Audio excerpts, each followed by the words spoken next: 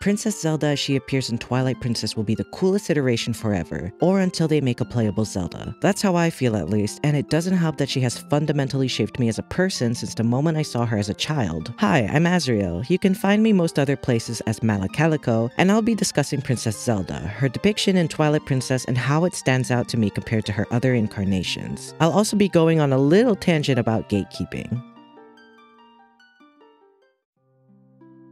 When it comes to Zelda's depiction throughout the franchise, she follows a sort of pattern, so regardless of the art style or what role she's playing, she's still recognizable as herself. As a base, we're always working with a pale-skinned, long-haired elf lady. Typically, she has a floor-length dress, her overall silhouette kept very slim, which gives her an air of refined elegance. Rather than a crown or tiara that sits atop her head, she has a circlet. Circlets are generally more heavily associated with fantasy, specifically elven aesthetics, that alone could explain the choice of accessory, but I also believe it highlights Zelda representing wisdom. Her circlet decorates her forehead, where her brain is. As for her appearance in Twilight Princess, she does break a few rules. In every one of her iterations, Zelda has blonde hair and a pink dress, which makes her appear cute and bubbly. Twilight Princess has an overall darker aesthetic and grim tone, reflected in Zelda having brown hair and a purple part to her dress, making her appear much colder and regal. That cold disposition is really reinforced by the fact that she doesn't really smile. Overall, she's a very elegant, distant princess which contrasts heavily with her boots. You don't really get to see them until, spoiler I guess, you fight her. This design choice brings her down to earth, showing that she cares very little for the glamour of being a princess, and alludes to the fact that behind the title is a pragmatist. That's what the contrast tells me, and I'm inclined to believe that it's deliberate, because you never get to see that detail until she's levitating, so she didn't need to have practical boots. This singular detail had me so insanely obsessed at age 10 that I still think about it to this day.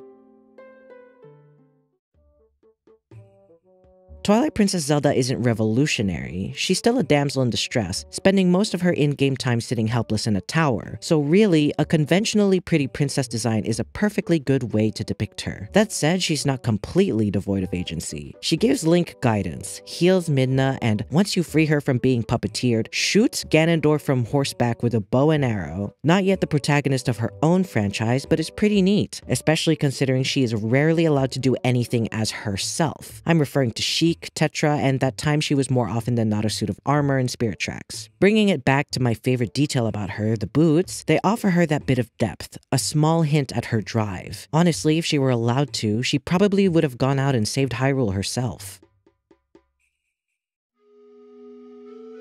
When I saw the prompt for the collaboration project, Twilight Princess Zelda was the very first character to come to mind. That said, I waited a really long time to actually commit to that choice, not that there were any other contenders. Throughout my life, I've seen plenty of character designs that make me feel something, good and bad, but Twilight Princess Zelda was very special to me. She was the one that sparked my interest in character design, my hobby and lifelong obsession. The reason why I almost skipped out on an opportunity to speak my mind on something so dear to me to a larger audience was because I never played the game. I found Zelda by playing Super Smash Bros. Brawl when I was a kid. I played for fun because it was something to do with my dad. I was in no way good at it. I did try to get into Zelda games later on, but that didn't really pan out. I couldn't finish Skyward Sword because it was difficult. It took me a year to finish Breath of the Wild because I was afraid of fighting the final boss of the game. If I had the chance to pick up Twilight Princess right now, I probably wouldn't. So it really had me wondering, am I allowed to like this character from media I don't engage with? Do I have anything of value to say if I'm not a quote unquote real gamer? The answer is yes, evidently. I luckily managed to land on that conclusion just in time to apply for the collaboration and get accepted. So it really got me examining how people gatekeep the media they consume, specifically gamers in this context. With the internet, we don't need to play a game to experience it. It may be a shame not to play a game for yourself, but what's worse is preventing yourself from resonating with a creative project. Not having the time, money, or gaming skills shouldn't prevent you from enjoying the style, themes, characters, or story presented by a game. The people who exclude non-gamers might not not even care about those things, which isn't necessarily a bad thing. It just goes to show how different engagement can look from person to person. It's not fair to say there is a correct or more valid way to engage with a piece of media. I am not exaggerating when I say Twilight Princess Zelda changed my life. Is that suddenly not true just because I couldn't play the game itself? Anyway, regardless of what you think about the way we consume media or the Zelda franchise, I hope you enjoyed hearing me share why exactly Princess Zelda from Twilight Princess is my all-time favorite character design.